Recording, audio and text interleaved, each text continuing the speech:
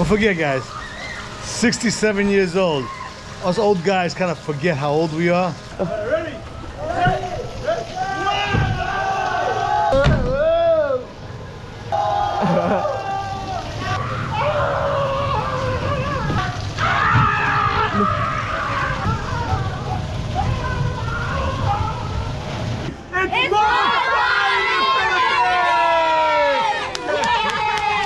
It's B, in the Philippines, they got the three B's.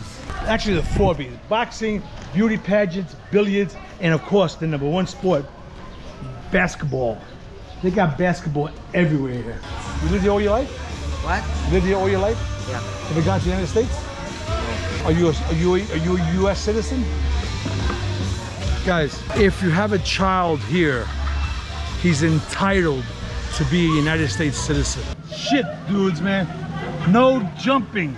Ah! I died! Dive! Jump!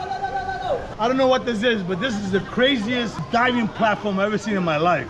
Not bad for an old man, huh? I am Captain P's captain. Kiki in the Philippines. Ah, Jimmy Timbers. ah, bounty, bounty. You think they got some booties?